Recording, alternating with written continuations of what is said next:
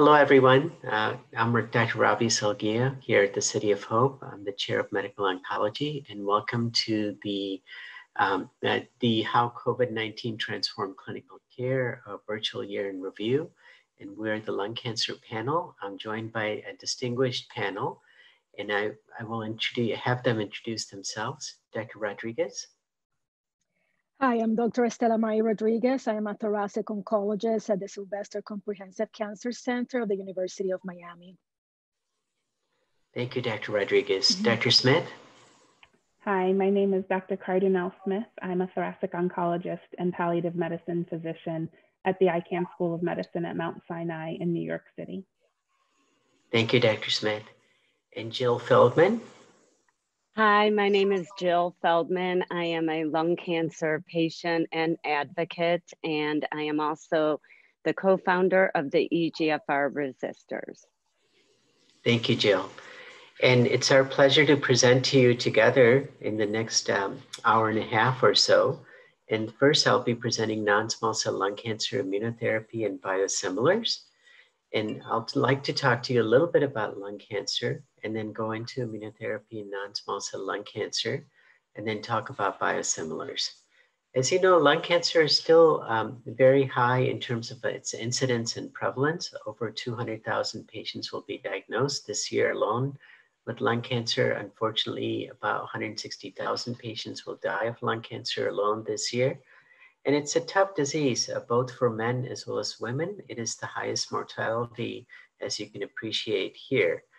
At the same time, we know lung cancer, when I started my career about 30 years ago, was only divided into non-small cell lung cancer as compared to small cell lung cancer. Now we have divided it and subdivided it incredibly, and you'll hear that from the whole panel today.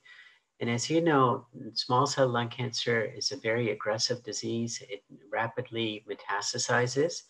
And we don't have as many therapies for small cell lung cancer as compared to non-small cell. And we'll hear Dr. Rodriguez's um, evaluation on small cell lung cancer. And for non-small cell lung cancer, it's subdivided now into adenocarcinoma, squamous cell carcinoma, large cell carcinoma, and large cell carcinoma with neuroendocrine differentiation. But in the US alone, adenocarcinoma is the largest um, uh, occurrence as one can imagine, and you can have molecular alterations.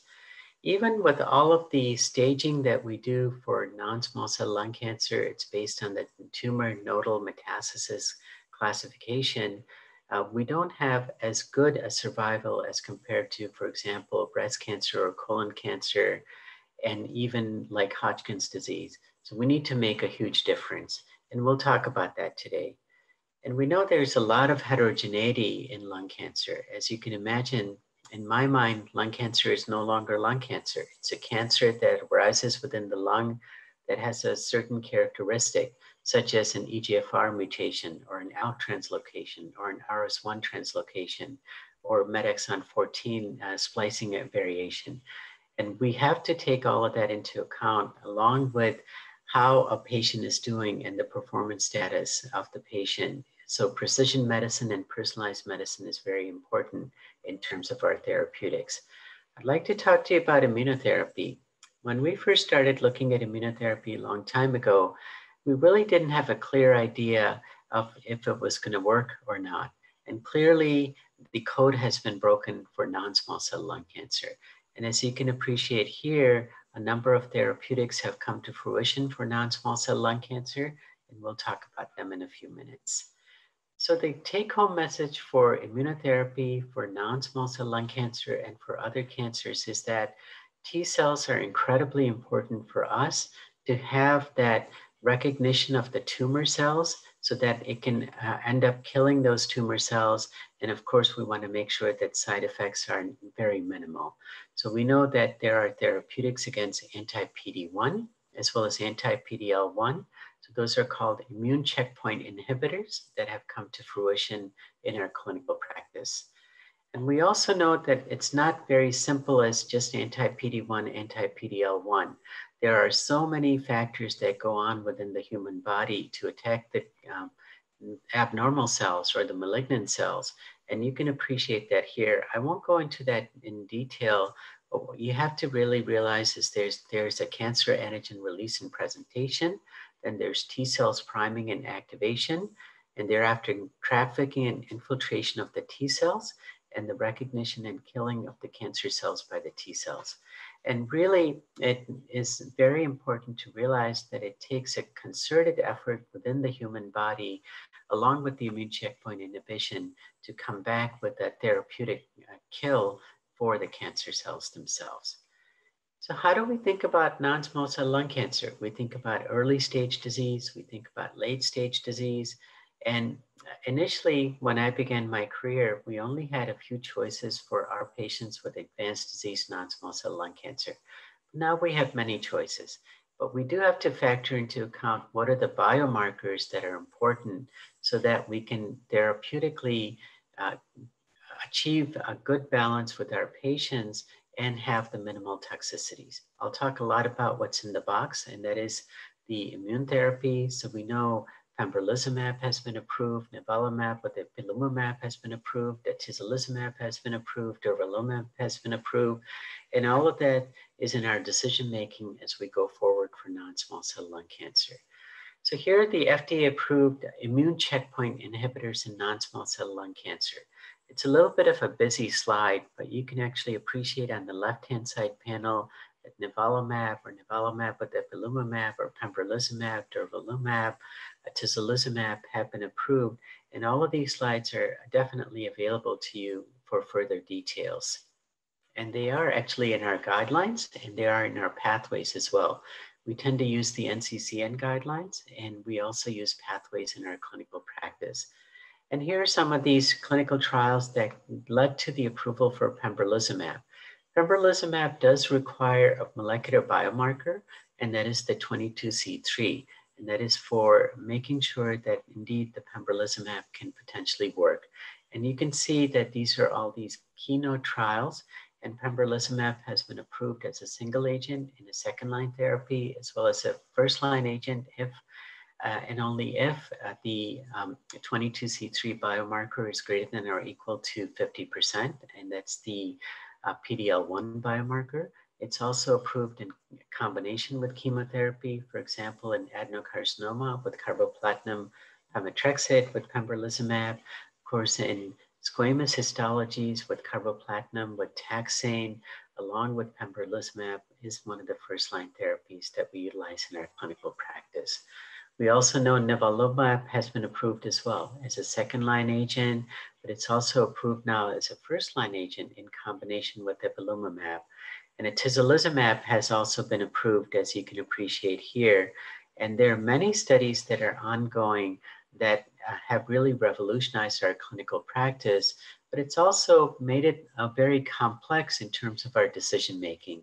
So we do need to be able to adhere to our guidelines as well as to our pathways that are important in our clinical practice here in the United States, as well as worldwide. And then, of course, uh, for earlier stage disease like stage three disease, durvalumab uh, has been approved after chemotherapy and radiation therapy, and avelumab is coming to fruition as well, as you can appreciate here. So uh, one of the things that we have to take into account are the adverse events or the toxicities from the immunotherapies. Immunotherapies are very well tolerated majority of times. Many of you have also done that in your clinical practice. Some of you are patients here on this audience and you see those TV commercials or have already undergone these types of therapies. And like I said, majority of times it's tolerated, but you can have adverse events. And the adverse events are any inflammatory events that can occur throughout the body. And uh, at the same time, what I reflect here are the organs. So you can have hypophysitis, you can have dermatitis, you can have thyroiditis or pneumonitis or nephritis or hepatitis or colitis. Those are all important as we think about them as your clinic care pro providers to be able to make sure that we can manage them. And majority of times it's very manageable, but sometimes you also have to get the experts involved, such as the endocrinologist or the pulmonologist, to be able to treat the side effects properly. And it is important to also note that one can have these adverse side effects, but as we looked at it in our own database, as you can see on the right-hand side with the progression-free survival, and you can see on the ordinate is the PFS or progression-free survival, and on the abscissa are the weeks, that you can have a differential if you have adverse events as compared to non-adverse events. These are preliminary data, but it is important to realize that this is what we're thinking about, that those patients who develop side effects, do they do better? Do they do worse? How do we manage through all of these side effects at the same time? What we also look forward to in 2021 and as we go forward for the next five years, you know, immune checkpoint here, uh, inhibitors are here to stay but we have seen our, some of our patients with hyperprogression. We have seen some of our patients not respond. We have seen some of our patients who progress through these. So can you have combinational events of immune checkpoint inhibitors with various other targets? And here are all the targets, or actually, actually say, here are some of the targets that are important one can appreciate. And that's coming to fruition, such as LAG3 or VISTA or TIM3 uh, as an example here. Again, a very busy slide here. These are available to you to go into further details themselves. And there are resistant mechanisms to immunotherapy. I talked a little bit about hyperprogression. So uh, if you have, for example, an STK11 inactivation, some of the times we see hyperprogression as related to that. It's been published, for example, the JAK-STAT pathway can lead to uh, abnormalities in terms of progression. And here are some of the pathways that have been described over this year and over the past several years that we're taking into account in our molecular analysis and precision medicine as we think about our patients and their patient care themselves. And here are some of the clinical trials that are ongoing. And it's very confusing, of course, uh, for everyone to realize because so many trials for so many diseases, not only lung cancer, but for other diseases, but it is important to have champions who understand these clinical trials and to be able to be put on these clinical trials if possible as well. And then here are some of the trials going on at our uh, center as well, as you can appreciate, a large number of trials with a large number of investigators themselves. The other thing I wanted to talk about, and that's the immune checkpoint inhibitors, but before I get into this, I just wondered if the panel has a thought on to the immune therapies themselves. And I could start off with Dr. Rodriguez as to how you think about immunotherapies and um, so I think, you know, we have more choices and more drugs. And I think um, we have some historical experience now of patients that have done very well with, you know, the initial single agent immunotherapies. Now we have more data for combination immunotherapy. So we're all trying to sort out which patient will respond best to what of those options, but definitely has changed the landscape. We are seeing more long-term survivors uh, who are doing well. And the difficult questions right now are in our clinic are, are we comfortable stopping drugs on patients who are on remission or doing, have no progression after two years? And I think we need more data to guide us um, going forward. Thank you, Dr. Rodriguez. Dr. Smith, your thoughts? I mean, I absolutely agree. I think um, if one thing COVID had shown shown me, if not us, um, is that those patients who were in this category of doing well on immunotherapy and really stopping because of the pandemic and their concern about going to medical centers for treatment. Um, you know, I've had several patients who continued to have a good response now, eight months later, um, and some who have not done as well. Um, so there's still a lot of unanswered questions for us. Thank you, Dr. Smith. And Jill, your thoughts? I, I think that immunotherapy has completely changed the landscape of lung cancer for a certain population of patients. Uh, we definitely would like there to be a way to better stratify uh, which treatment the patient would get because there are so many but that's a great problem to have. And I agree with you, Dr. Smith. A lot of patients are more comfortable now waiting for treatment. In the beginning, you know, patients were anxious about not getting their treatment at, on the schedule they were used to. So that definitely has eased anxiety for a lot of people in the community. Thank you, Jill.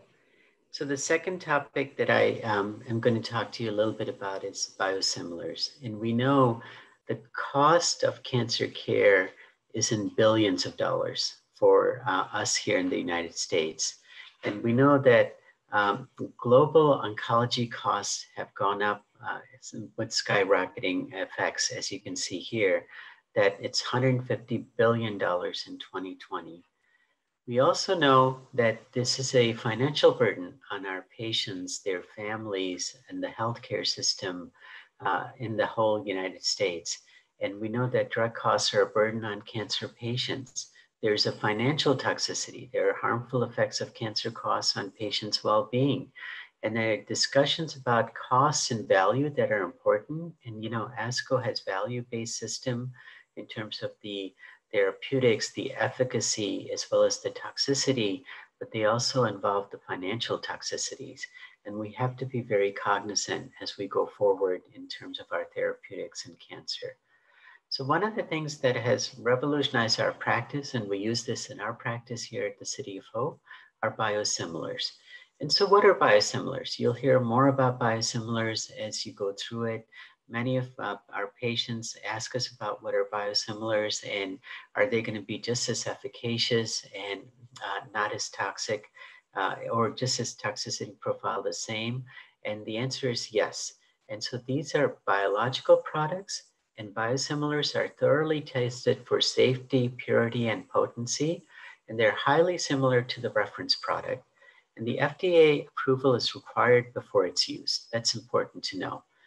The difference between biologics and biosimilars I reflect here, and as you can appreciate on the biologics I highlighted, is that it's patentable and there's a reference price. But the biosimilars are non-patentable and there's a reduced price. And that's so important for all of our patients and providing care to everyone who has cancer. And so there are biosimilars who have, which have been FDA approved, and I list them here. And some of them we've started to use in our common practice.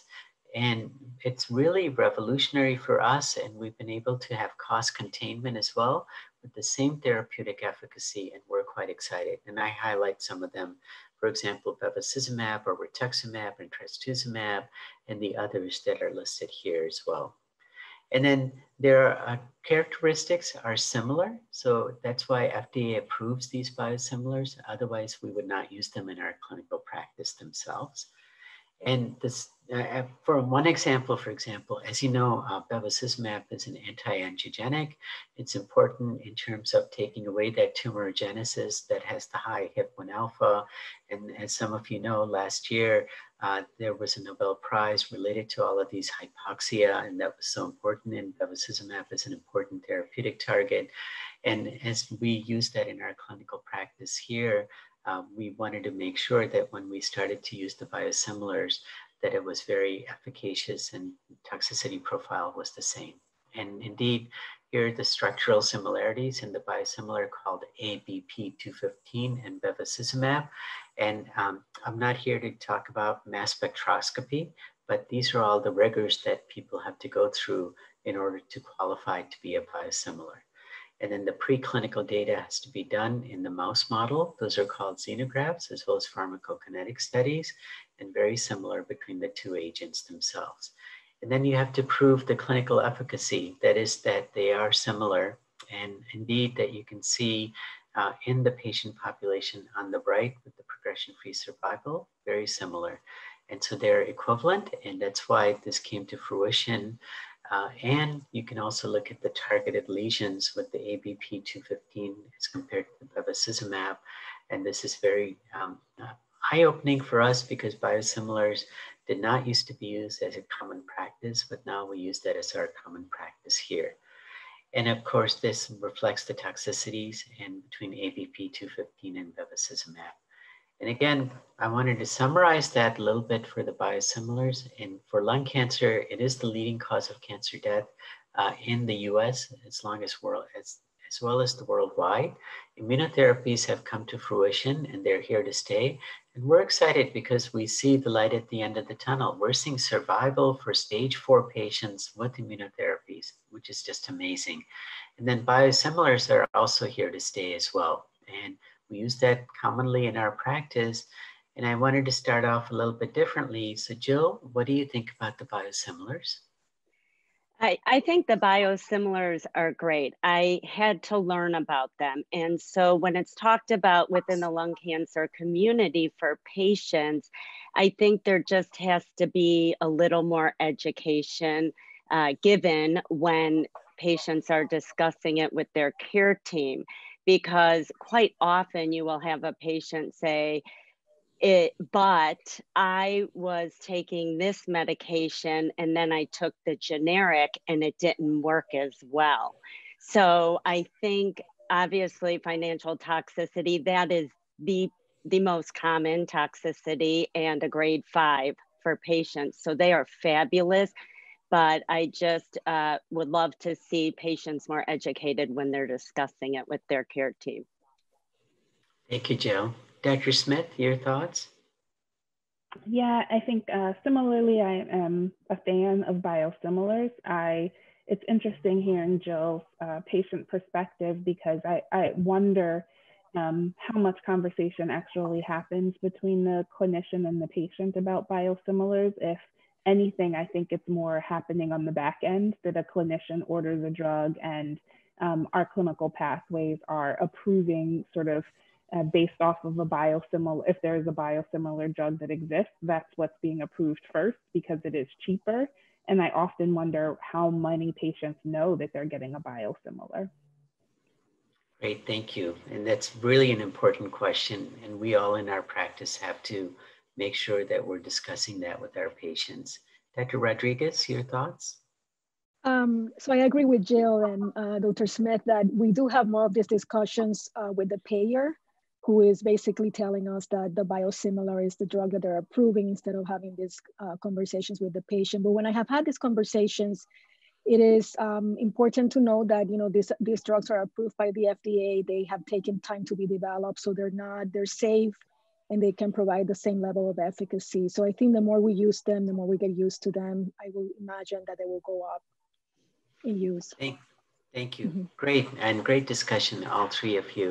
And so we'll move on to the next talk, and this it's my pleasure to introduce Dr. Rodriguez. So um, Dr. Rodriguez, the floor is yours. Okay, thank you. So we mean this is a, a panel talking about how COVID-19 has transformed clinical care.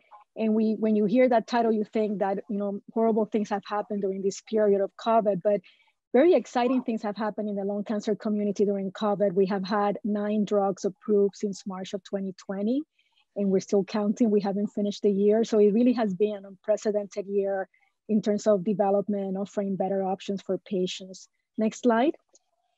Um, so I wanted to cover today some of the new exciting targeted therapies and why today for a lung cancer patient, like we discussed earlier, it's important to know not only that it's a non-small cell lung cancer, but what type of adenocarcinoma, uh, what kind of molecular driver is present in the tumor so that we can pick a better treatment since we have better targeted therapies. And we'll talk about RET and MET exon 14 skip mutation uh, options for patients. We also have exciting new treatments for small cell lung cancer, which had been a cancer that we have known for a long time that is aggressive and we hadn't had changes in that treatment for over 20 years. And now we have immunotherapy and new second line options for patients. And then I'll talk about some treatments that I expect will be approved shortly um, that we're very exciting and following, um, having to do with HER2, KRAS, and osimertinib in the adjuvant setting. Next slide. So these are my conflicts of interest. Next slide. So this is just to show you um, the history of lung cancer treatment advances. And you can tell that a lot has happened in the last 10 years and in the last year. And I just uh, note here the nine drugs that have been approved since March and we really had not seen that many approvals. At least I had never seen that many approvals for long in one month in May 2020. A lot has happened, and this has been exciting that the FDA is uh, moving these dr drugs forward, uh, especially the targeted therapies don't require large trials, and we're able to offer these options for patients. Next slide. So let's talk about RET and exon 14, uh, which are rare mutations, but lung cancer being such a common cancer, there's a significant amount of patients worldwide that would benefit from these treatments. Next slide. the, the, I'll start with the one that was approved last, uh, which is pralsetinib or blue 667, and it's a treatment approved for RET fusion. So these are not mutations, these are fusions. Um, this was um, shown in the phase one, phase two ARROW clinical trial that was a registration data set for this RET inhibitor. Uh, these RET fusions are observed in one to 2% of patients. And, but if you don't look for these, uh, find mutations, uh, fusions, you don't find them. So we have gone back in our databases and found patients that had RET fusions that had been treated with chemotherapy and immunotherapy and now are eligible for these options. Uh, is a selective RET inhibitor, so it works, it's more potent than prior uh, multi-tyrosine kinase inhibitors that we had used uh, for patients with RET. Um, and then the phase one trial initially reported a, a very uh, impressive response rate of 58% in a group of 48 patients, and 60% of those patients had prior uh, platinum-based chemotherapy. Next slide. So this is the waterfall plot just to show you that uh, regardless of the prior treatment, uh, most patients on these trials had a response and the tumor reduction rate was impressive. It was about 96%, uh, even more impressive on patients that had not had treatment. So this is a great option in the first line setting. This drug was approved just recently in September 2020. There were patients, a lot of the patients on this trial had prior immunotherapy uh, there were 6% complete responses, and in treatment naive patients, there were 12% complete responses. So this is very exciting. Um, we know that RET fusion, um, RET fusion aberrations are found um, in um, patients um, regardless of their smoking status. Uh, we also know that some of these patients have a high rate of brain metastases. So um, this drug particularly was developed with that in mind and has a very uh, has a strong activity in the for brain metastasis with 56, 56% uh, overall response rate and a complete response rate in the brain of 33%, which is very impressive. Next slide. So this is just to show you again that the response rates are seen in patients that had prior platinum and patients that were treatment naive um, in the range of 55 to 66%. But what's really impressive is that the duration of response uh, reaches almost 90 and 80%. So that patients that start these treatments are able to continue on these targeted uh, therapies for a long time. And we're excited that we're able to offer this to patients. Next slide. In terms of toxicity, I, we have um, had patients on the original trial at our institution and we initially learned to manage hypertension better. Uh, we, um, we have seen a grade three hypertension about 10%. Um, also some myelosuppression with patients that have, um, have had neutropenia, so you have to counsel them for neutropenic fever precautions and also patients with anemia. In terms of GI side effects, uh, it's very manageable. Um, and fatigue is being uh, seen not as profound. Um, so we tend to follow patients' liver function tests and blood pressures closely. However, the discontinuation rate due to treatment-related adverse events was low, 4%. Um, so patients were able to uh, maintain a full dose of drug about 92% of the time. Next slide. There's another drug that was approved prior to this one in May 2020, and that's selpercatinib. So they're both uh, uh, drugs that target RET fusions. Um, the dosing for this drug instead of the other one is 160 milligrams twice daily with very impressive objective responses of 64% on patients that were previously treated with a platinum-based chemotherapy.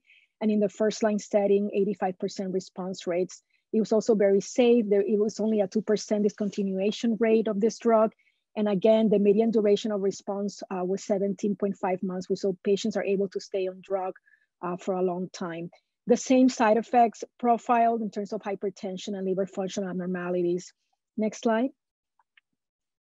So uh, selpercatinib was tested in the Libretto 1 trial. And again, the waterfall plot here demonstrates that regardless of the prior treatment, patients that had prior immunotherapy or no prior immunotherapy um, had responses that were long lasting and tumor shrinkage. Next slide. So we'll switch gears here and talk about capmatinib. So this is for a completely different um, uh, mutation, in this case, MET exon 14 skippy mutation. And on the left, I show you that the normal splicing um, uh, would allow for these uh, tyrosine um, kinase re re receptors to lead to pathway activation and degradation. When you have an aberrant splicing mechanism, these um, receptors are, the degradation of these receptors is um, disrupted and the, it serves as a proto-oncogene that the cells are activated.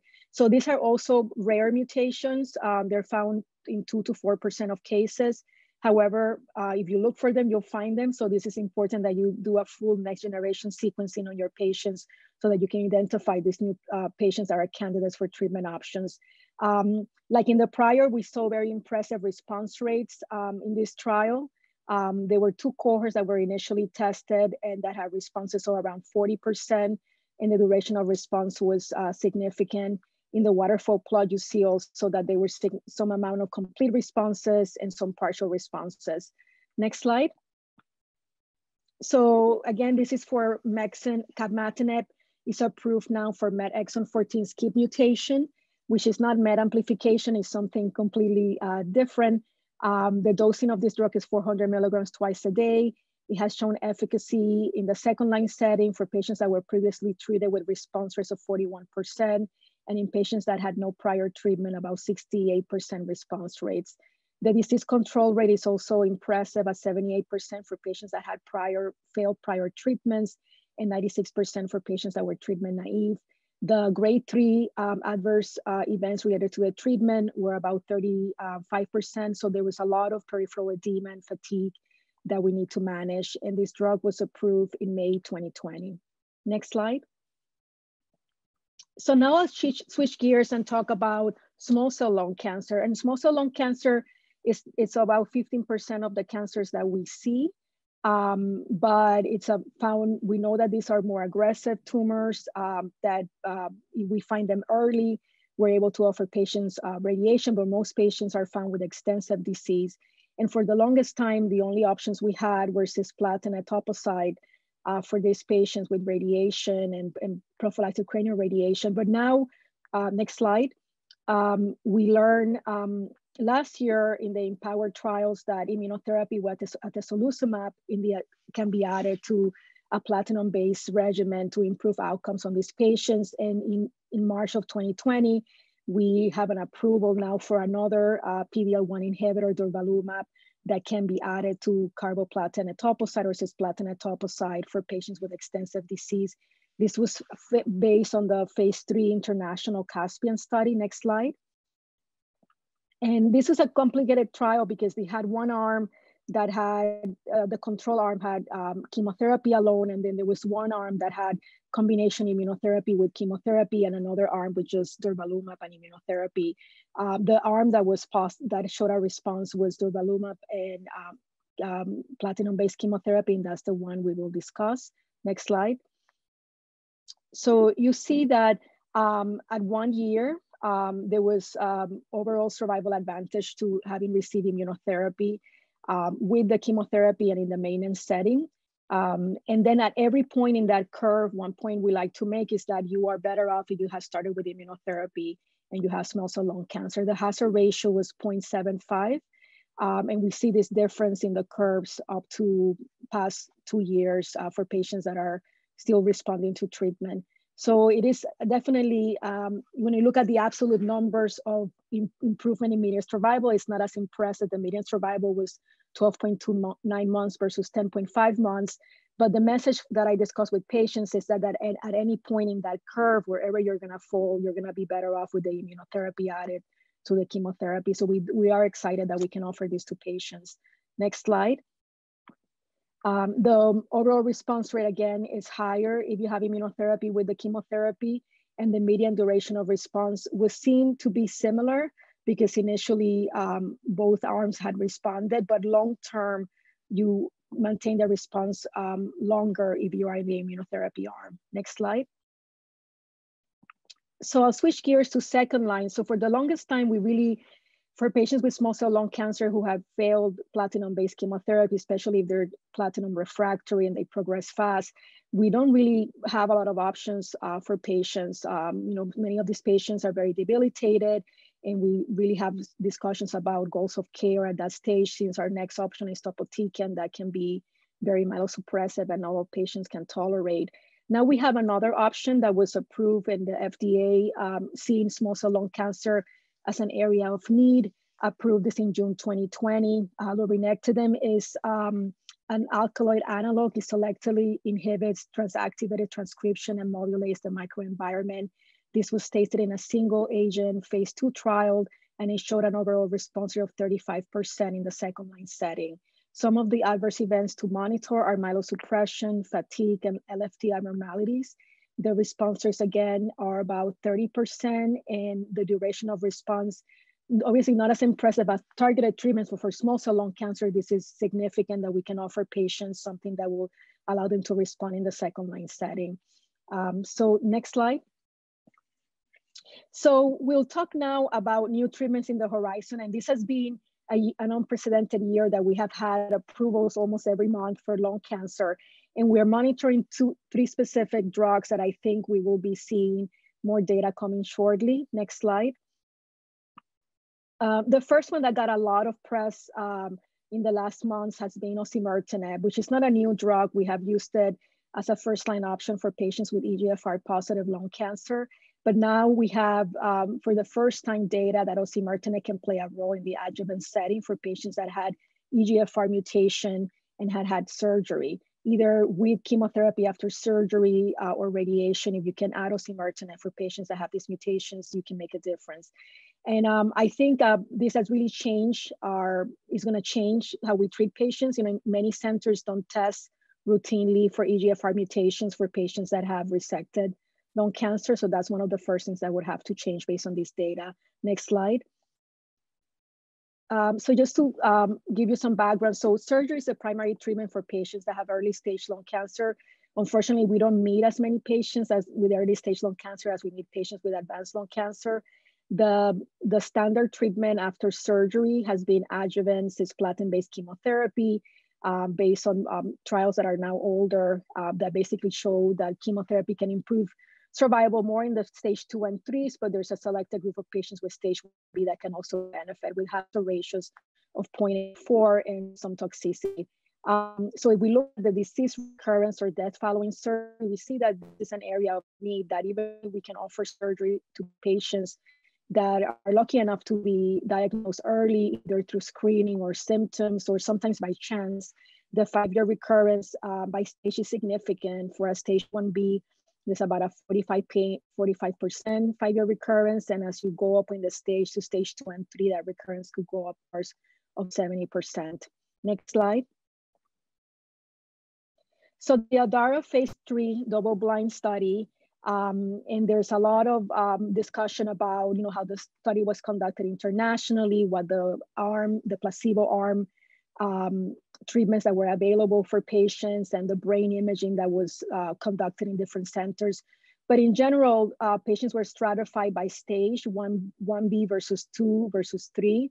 And also we included patients with EGFR mutation, exon deletion 19 and L858R. Um, we also, uh, the study was also stratified by race, Asian versus non-Asian. Um, and patients receive osimertinib for up to three years. And then the, um, um, the study was uh, prematurely stopped and unblinded uh, because of a very big difference, which we'll discuss in the disease recurrence. Next slide. So these are the, the graphs that you can argue with as, as much as people have comments about you know, how the study was conducted and how patients were followed. These are very impressive disease-free curve, uh, survival curves for patients that had surgery um, and were followed. So you see that if you were in the osimertinib arm, which is the blue line on top, at every point and very early on, you have a benefit, like you are less likely to progress um, uh, systemically, especially in the brain, outside the brain, and even locally. Next slide. And um, what people, we're awaiting, but the study now is being unblinded, so we don't know how this data is gonna read out uh, going forward, is the overall survival. Are we delaying uh, progression of disease and ultimately the survival is not gonna be that different, but we feel with such a big difference in disease-free survival, we will see differences in overall survival and we'll, you know, we'll have to stay uh, tuned for that. But this is the early snapshot of the survival curves and there is, uh, it does favor the osimertinib arm. Next slide. So in conclusions for this, the FDA has already given this a breakthrough designation in July 2020, and I think there will be more data reviewed going forward. but this is the first targeted agent in a global trial to show a statistically significant and minimal, meaningful improvement in disease-free survival for patients that had had surgery for non-small cell lung cancer. This is only for patients that had EGFR mutations and those two specific mutations and patients will have to be on treatment for three years after surgery. And there's a consistent improvement in disease-free survival regardless of whether patients received prior adjuvant chemotherapy. And the safety profile was consistent with that of osimertinib, what we have seen in the advanced setting. Next slide. Uh, the next uh, type of drug that we are monitoring is the HER2.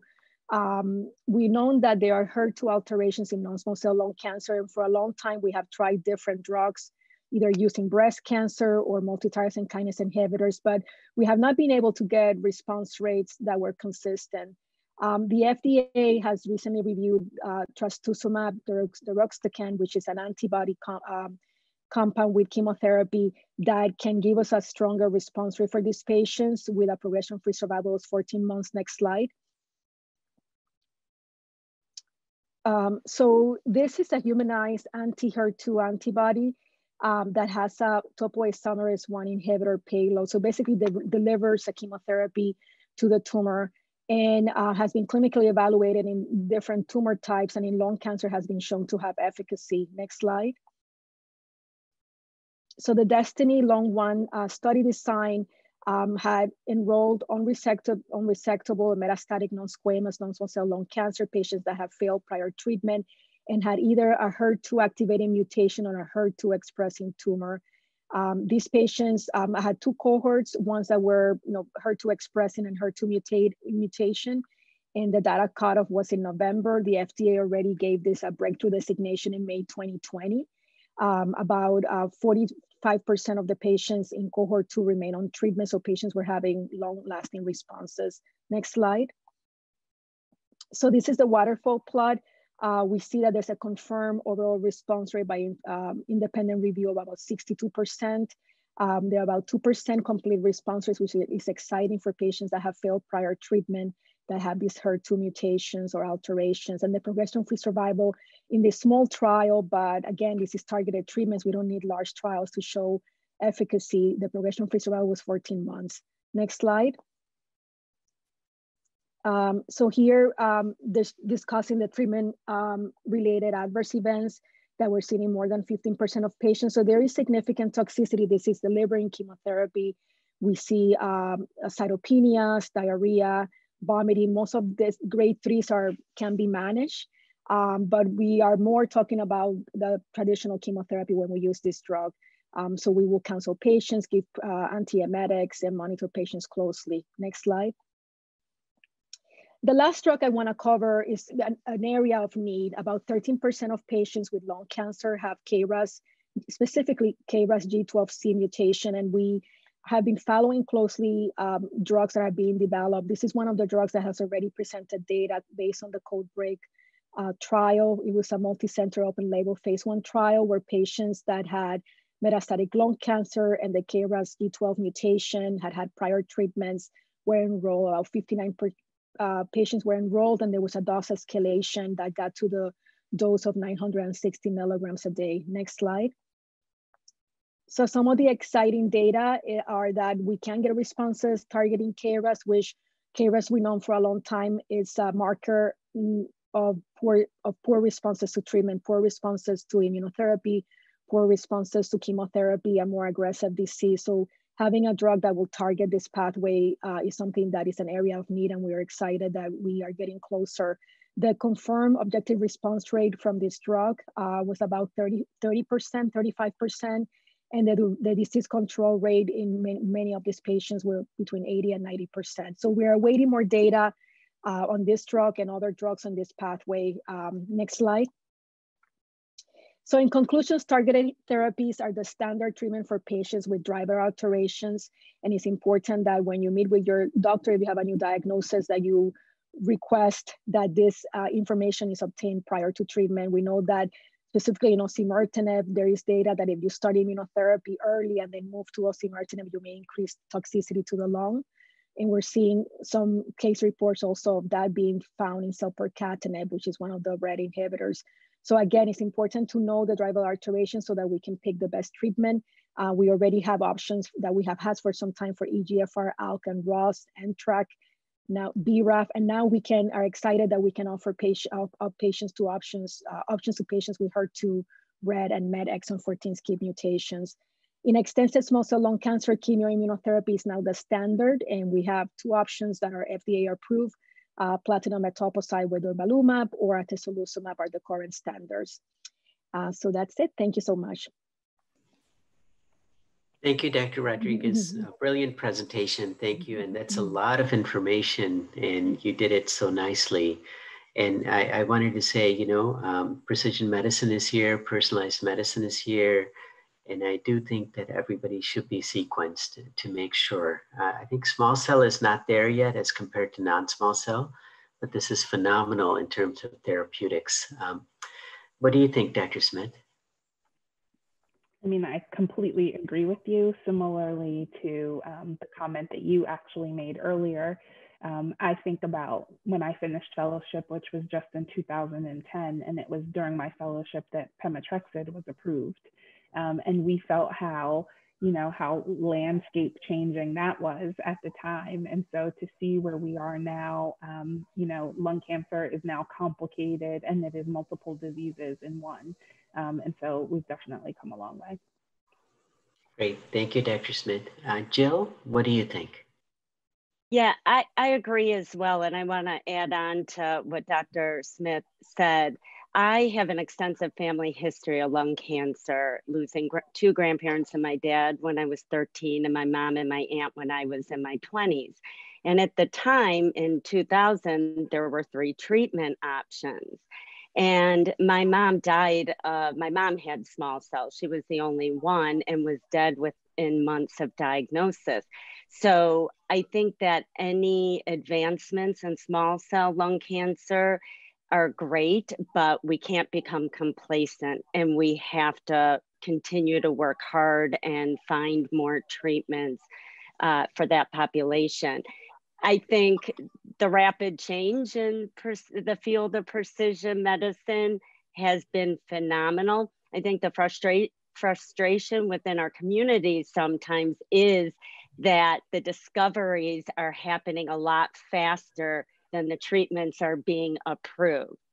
And so that, you know, when you now that we could see all the research that's going on and patients don't qualify for a trial necessarily because they sometimes get that one dose after diagnosis whatever the case is it's it's really moving fast and i think there needs to be an emphasis on the biomarker testing of newly diagnosed patients guidelines and more education out there for physicians in the community setting because they cannot possibly keep up with lung cancer and then all the other cancers they mm-hmm. treat. Great. Thank you for the thoughtful comments. Um, so we'll go on to the next presentation and uh, you'll lead us, Dr. Smith, and yes. uh, the floor is yours. Thank you. Um, so it's my charge today to talk to you about um, remote virtual management along with side effect management for lung cancer. Um, you can go to the next slide. So a quick outline of what we're talking about, which is really telehealth um, in general and focusing on the ways in which telehealth changed our treatment paradigm in cancer care delivery in the COVID-19 pandemic era, um, and also talk about management of lung cancer and side effects. So next slide, yeah. So, you know, telehealth is really a tool to be able to enhance healthcare uh, public health and health education delivery and support using electronic communication and information as the main modality.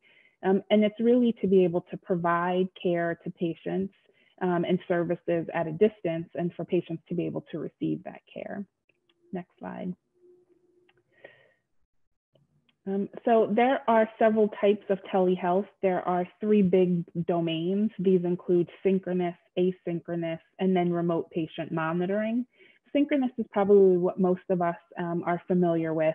Um, and this is really real-time telephone or audio video interaction, typically with a patient using a smartphone, tablet, or computer, Um, in some cases, there may be peripheral medical equipment that's used like digital stethoscopes, otoscopes, ophthalmoscopes. Um, and it can be used by other healthcare clinicians, including advanced practice providers, nurses, um, and um, it's typically done remotely. Um, asynchronous really refers to patient portals um, that facilitate this type of communication between the provider and patient through secure messaging. Um, this is sort of considered a store and forward technology where either messages, images, or data are collected um, and then interpreted at a later time.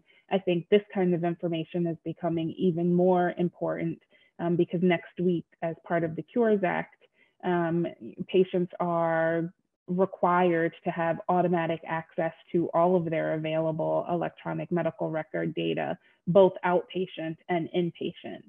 Um, and then lastly, remote patient monitoring is something that I think is pretty, um, in, in, pretty much in its infancy in cancer care, um, but this allows direct transmission of patients' clinical measurements from a distance. So these are devices that patients wear that track their vitals, um, weight, um, and other things and communicate that back in real time to the clinicians for monitoring um, and treatment.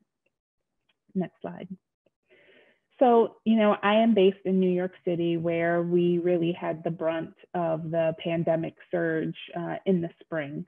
And so this shows um, the bars are the total number of cases that we experienced in New York City um, by the date, which is on the, the x-axis.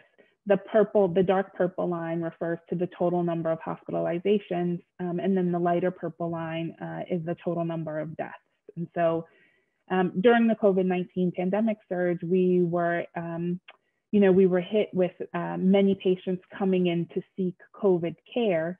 And unlike many other specialties in medicine that were, that sort of closed down, flipped completely to remote monitoring, to telehealth, um, in cancer, we had to be able to really provide a hybrid model because there were still many patients who needed to seek in-person care. Next slide.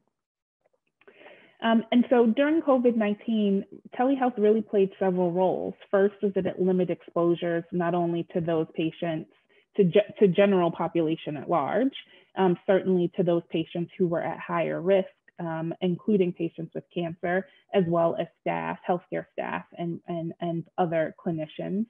Um, it helped to preserve PPE. So if we limited the number of patients coming into the center, it was less masks, gowns that needed to be worn, um, really helped to reduce the surge so that it, by decreasing exposures, decreased the potential risk for people being infected and really allowed us to continue cancer care. And it may not have been in the way and the model in which we were used to, but it did give us the ability to connect with patients to still be able to monitor them and assess them um, and to provide care delivery.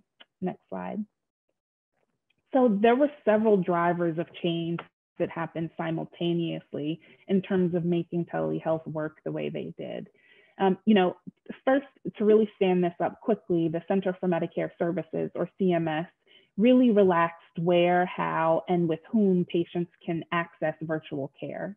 So the major shifts that happened were that really patients could access telehealth not only from their home, but they could also um, use it within healthcare facilities and not just a hospital, an office, or a skilled nursing facility.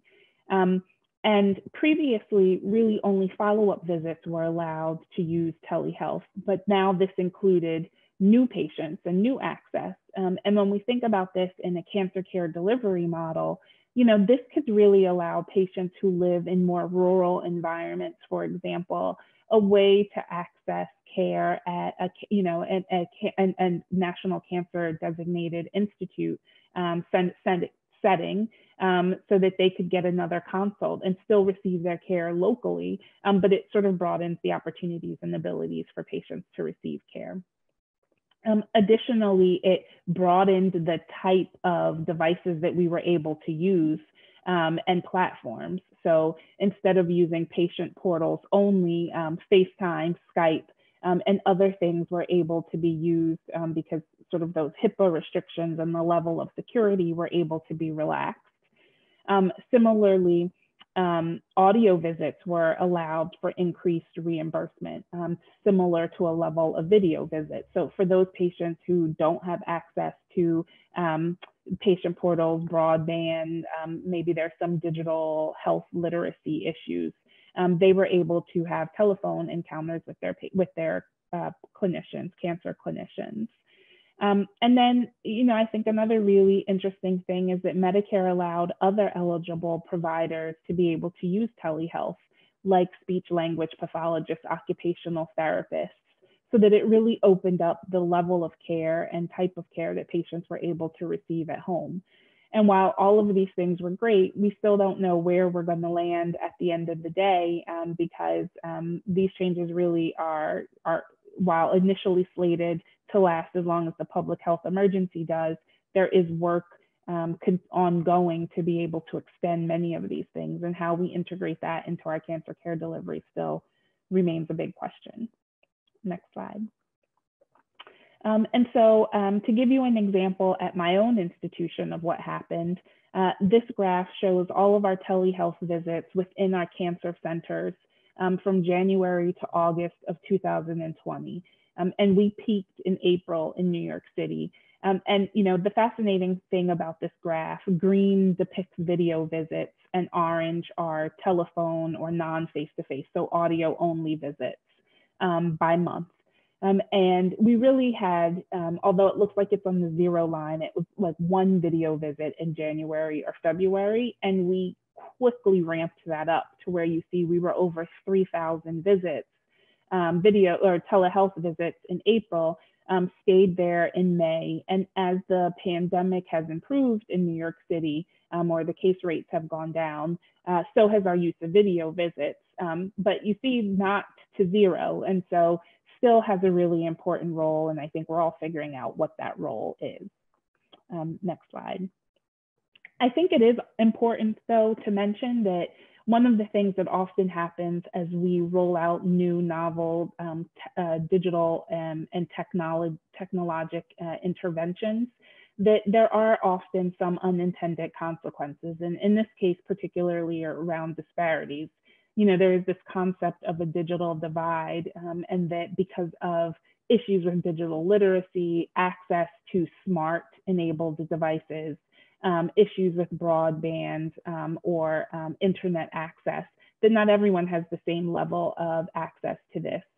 And one of the things we did um, is that we looked at our own patient population between March and June um, to get a sense of what the difference were, differences were in our patient population based off of race and ethnicity. Um, and so, you know, 70%, 76% of all of our telehealth visits were video visits. However, we did see a significantly less utilization by minority patients of telehealth in total and video visits. And so what this graph shows you are that white patients are in green, black and yellow, Hispanic or Latinx in gray, Asian in orange, and other in purple. Um, and on the, on the left column, the column all the way to the left, it shows our total population um, and then the total telehealth population. And what this shows you is that although our total population of Black patients are 23%, they made up um, only 17% of our total video visits. Um, and similarly with Hispanic or Latinx patients, although they make up 14% of our total population um, during this time, seen during this time, um, only 5% of those patients, uh, only 5% of all of our video visit patients were uh, Hispanic or Latinx, you know, definitely signifying that there are disparities there um, and things that we need to work, work towards improving. Next slide. Um, so, you know, the question really is telehealth our future or is it just having a moment? Um, I think um, we there are some things that we can expect in the future and some things that are still unknown. Um, you know, reimbursement parity for telehealth and in-person interactions is going to be really essential if we want widespread acceptance and adoption of this. Um, and second, we can have downstream implications that could really be transformative and that telehealth can really become an essential component of basic engagement and retention of patients, particularly if we're thinking in lung cancer, we have many patients who are on oral agents who you know are doing relatively well on them and don't need to come in to see us every month. And perhaps that could be a video visit paired with an at-home lab draw to check blood work. Um, similarly for those lung cancer patients who are in survivorship mode this could also be a fairly good modality to use for them so I think figuring out the best way to integrate this into our, not just our cancer care delivery, but lung cancer in general will be really important. Um, I think that there's also going to have to be work ongoing to revise our care standards and our pathways to figure out those patient populations in whom this makes the most sense. Um, and um, and I think really ultimately it is expanding the reach and capability of patients to access really high quality care. Next slide. Um, so I think, oh, this is the same slide. Go to the next slide, sorry. So I think challenges for the future will really be around figuring out um, interstate licensure challenges. Um, you know, many of those initial uh, um, sort of relaxation of who needed to be licensed in the state are starting to go away. Um, and as many of those, those physicians may know, it's hard to be licensed in certain states. And so that is certainly a barrier. Um, and then, my, you know, I think um, we need to really learn about how do you use this modality and talk about sensitive topics, um, such as progression or concern for progression, um, which may feel a little bit different when you're distant. Not that we can't do it, but there's some additional training that needs to be involved with that.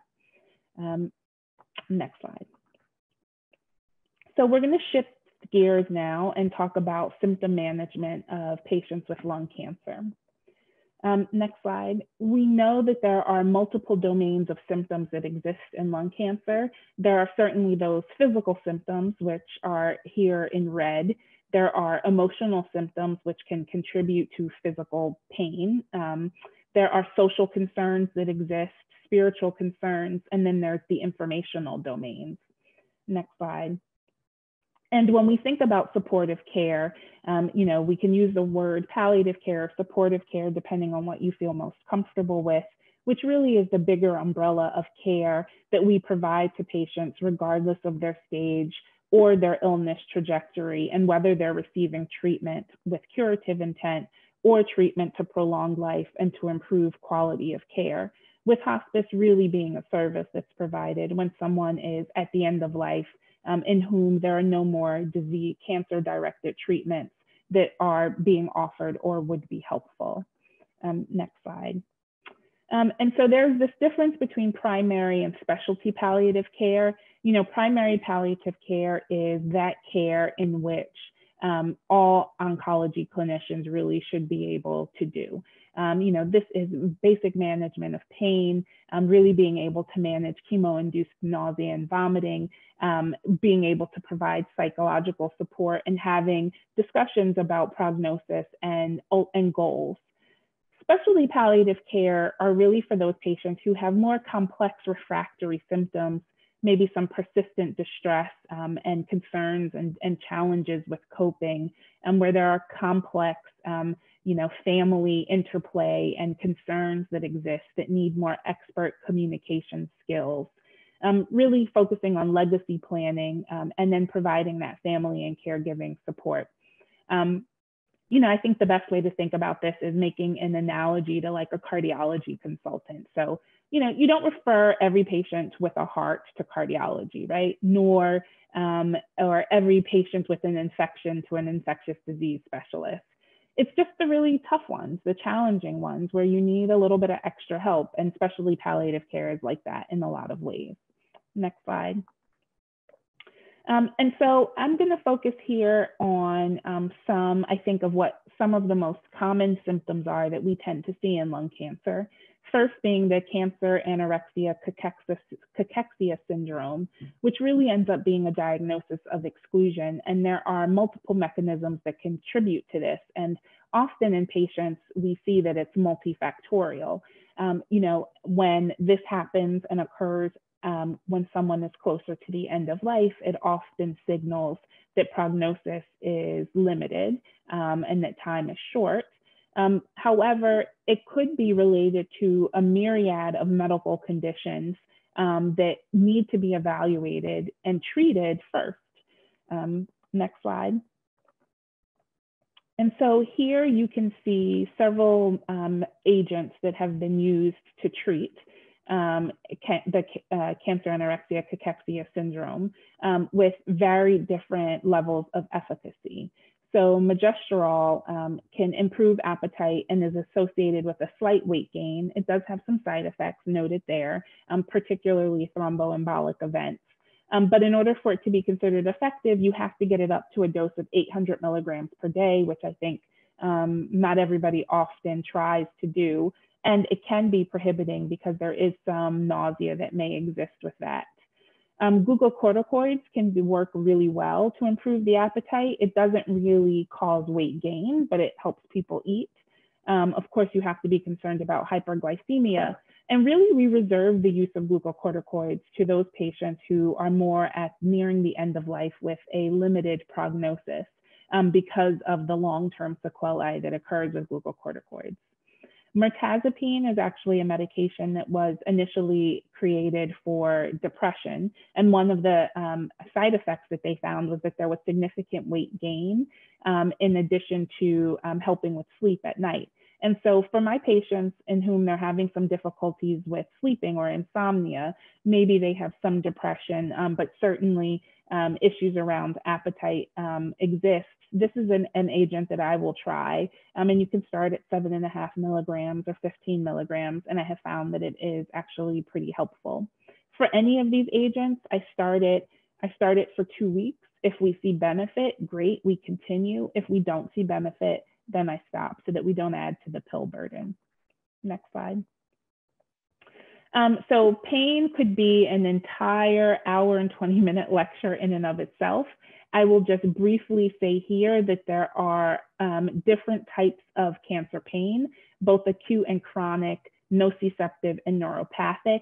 And depending on the type of pain really dictates the, our agents and how we choose to treat that pain. Next slide.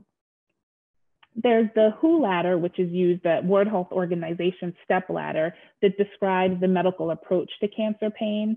Um, there are strengths to this approach. I think most of us in the in this world think of this more as an elevator that sometimes you have to get off on one floor to go up to the next or get off of one floor to step down.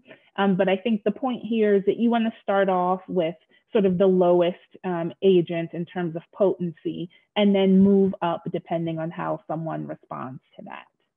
Next slide. Um, I think really important things to think about is what is the etiology of that pain, um, because that can help um, uh, uh, steer the way in which you treat that pain.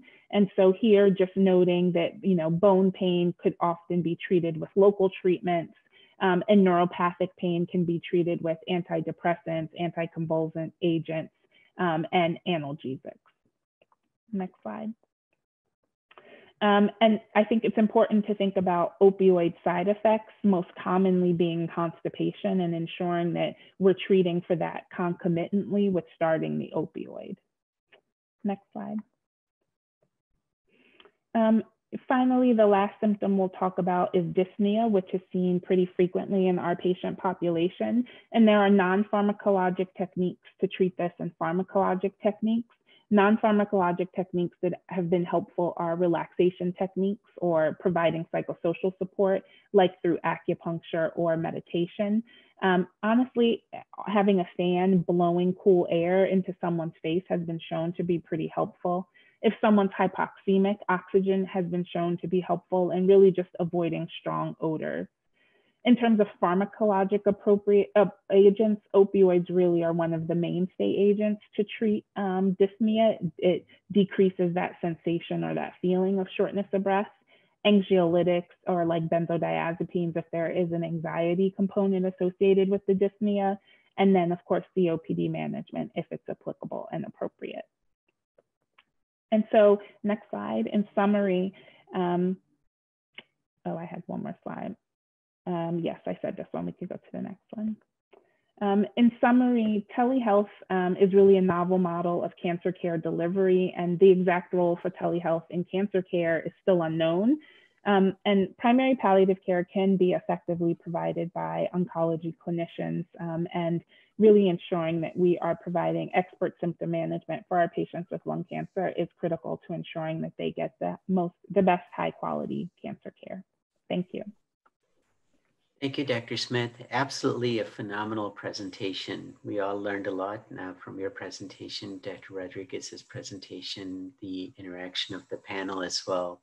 I wanted to go around with the panel to say how they think about telehealth as well as symptom management. And I think there's a large room for telehealth with symptom management as well for us, for our patients. So that's phenomenal. Dr. Rodriguez, your thoughts? Um, so I, telehealth has really, you know, basically changed my clinic. I never used telehealth prior to COVID, and now I would think about 30% of patients I'm still seeing telehealth, but we're all learning how to do it better. Um, we're learning that we are missing some information, like we're missing vitals, like the weight, the blood pressure monitoring. So we're kind of teaching ourselves and teaching the patients to collect some of that information to make the visits more meaningful. There's a lot of glitches in the technology. So we have patients that, despite our best efforts, it's very hard to connect with them. They don't either have a phone with a camera or they don't have a device at home. So this is not going to be the mode, or they don't feel comfortable. But surprisingly, we there's a very fast learning curve with the technology, and we have been able to provide care during COVID, and it has really allowed us to continue to connect with patients and um, I think it's here to stay, but it's a complementary role. I still feel that patients need to come in for emergencies. They need to come in for for things that need a longer discussion. And some patients really don't feel comfortable discussing some things online. So we have to be open to both. Thank you, Dr. Rodriguez. Jill, your thoughts? Yes, I agree with what you both said and Dr. Smith said. I think, I hope it is here to stay. It would be wonderful for clinical trials, for follow ups, for people who otherwise wouldn't have access. Uh, I do think, though, the majority of people who are diagnosed with lung cancer are those that are from rural or underserved communities. And there's already this major disparity with their care. So I looking at it big picture, I don't want to ever forget, you know, about that population. And the only other thing, I think it's really hard. I think I think the approach should always be shared decision making. So the goals of care no matter where somebody is in their experience. And the conversation with the physician is absolutely necessary to see what the patient is comfortable with as well, not just what the physician thinks the patient needs. And I want to give one word of caution to physicians that patients don't always report side effects and whether it's fear of being taken off a clinical trial, whether it's fear of having a dose reduction, whether it's stubbornness or just someone who's determined. And I am like that sometimes. And I know I'm like that sometimes. So I think, you know, you have to be very careful and really paying attention to those patients because I've known a woman who put quarters in her shoes to weigh more when going to the oncologist. I mean, that you just, I think that that has to be something thought about as well before making those decisions. Thank you, Jill. Very nicely said as well. And we have to be always be patient centric and, and they're healthcare providers too. And not only that, but also their caregivers. That's so important to include everyone in their equation. Absolutely. So, uh, I'd love the uh, final thoughts from the whole panel so we can uh, really try to summarize in how we think about the future. Dr. Rodriguez, I'd like to start with you. Um, so, I, I mean, this year has been very somber in many ways, but I think the future and the approvals of new drugs and how I guess not fast enough as you mentioned, but still, you know, faster than we ever seen before, drugs being approved for specific populations and how important it is for patients to do their you know do their homework like you know get try to you know there's a lot of information now in the web. Um, you can demand things. You'll be you have you'll have access to your medical chart. So use all those tools to uh, be an advocate for yourself and have a true discussion and a shared decision going forward uh, with your oncologist thank you dr. Rodriguez. Dr. Smith your thoughts? Yes. Um, well, I am definitely looking forward to the future because, like most of you, 2020 needs to be done already, um, and look forward to many more great things to come.